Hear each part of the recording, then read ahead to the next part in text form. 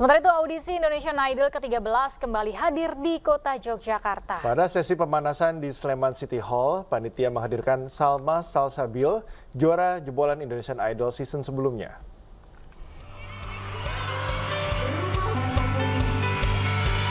Dipusatkan di Sleman City Hall, Yogyakarta, warm up audisi Indonesian Idol 13 berlangsung meriah.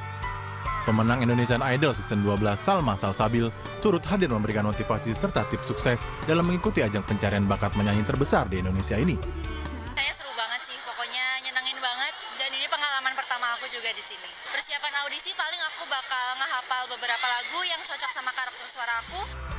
Ratusan pengunjung pun antusias menyaksikan langsung pemanasan audisi Indonesian Idol 13 dan memenuhi lokasi acara untuk memberikan atmosfer ajang Indonesian Idol sebelum lanjut ke tahapan audisi banyak sekali musisi-musisi yang uh, ada di Indonesian Idol.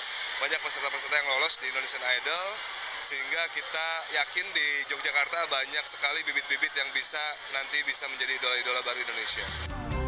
Jadi kota ke-9 audisi Indonesian Idol 13, Yogyakarta diharapkan mampu menghadirkan bibit-bibit unggul dalam dunia tarik suara. Dari Kabupaten Sleman, Daerah Istimewa Yogyakarta, Heru Trijoko Ainus melaporkan.